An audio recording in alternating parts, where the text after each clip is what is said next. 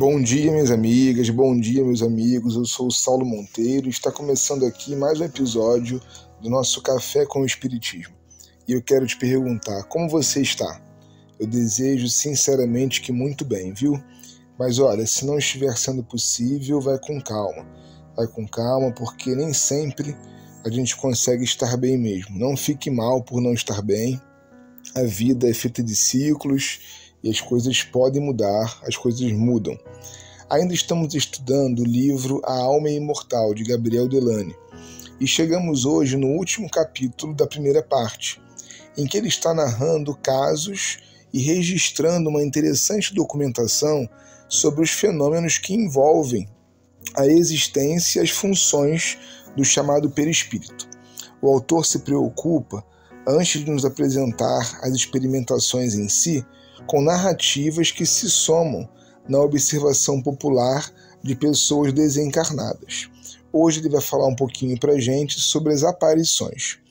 Um fato muito comum que Delane não deixa de fora é a sensibilidade que os animais possuem diante dos espíritos. No que escreveu sobre a vidente de Prevorst, Justino Kerner alude a uma aparição que ela teve durante um ano inteiro.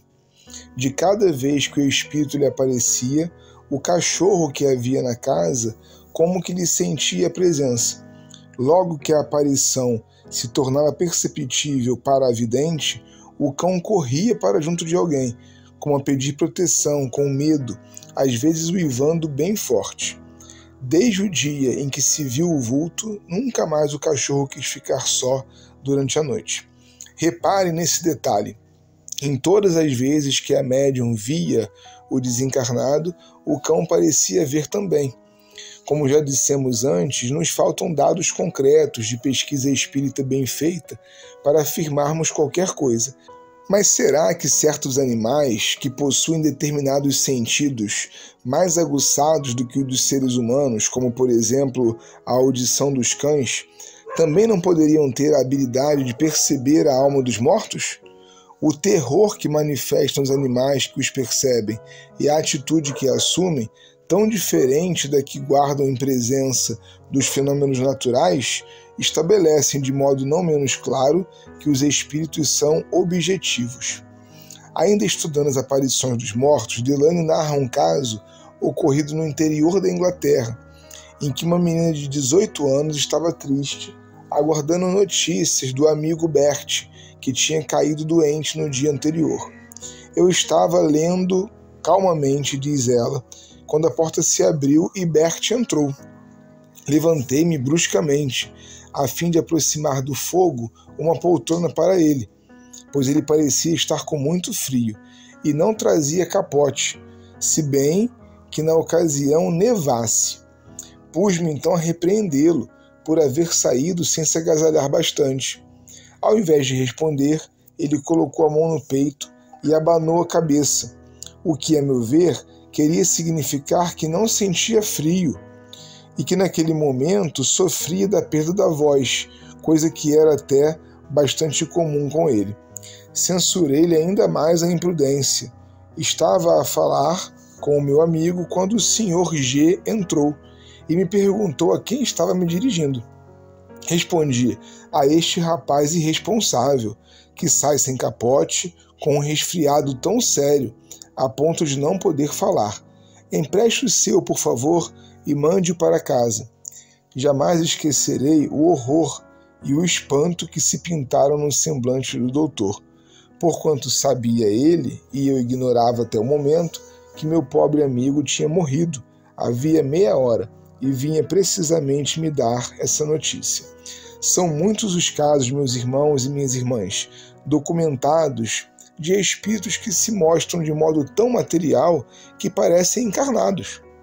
No caso de certas materializações, como sabemos, é possível tocá-los, senti-los, medir o tamanho, cortar o cabelo, mediante tal materialidade que esse fenômeno constitui.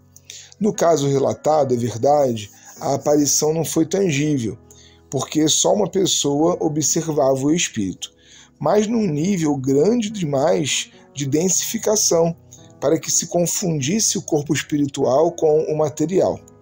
Uma tese muito organizada surgiu na Europa de Delane para refutar o fenômeno das aparições. Era a chamada teoria da alucinação, que consistia em apontar que os sensitivos poderiam ser sugestionados a partir de uma certa dose de hipnose, acharem que estão vendo, ou seja, uma ilusão. Com a maior simplicidade imaginável, com espantosa desenvoltura, dizem os negadores que a alucinação, ao invés de ser única, pode ser também coletiva.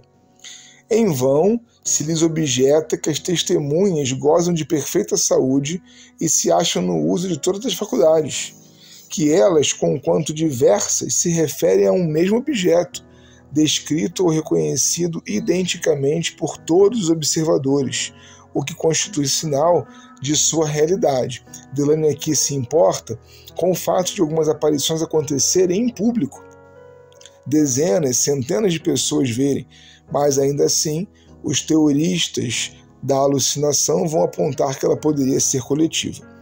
A partir da próxima semana, Delane vai usar fatos produzidos e reproduzidos por experiências espíritas para comprovar que certas aparições são tão reais que é possível fotografá-las.